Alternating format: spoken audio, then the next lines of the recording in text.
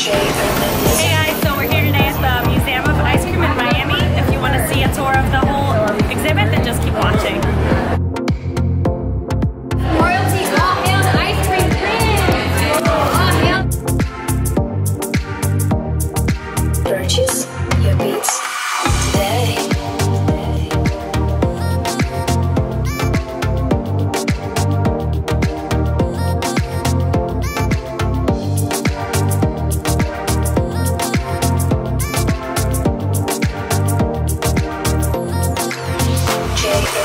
Music.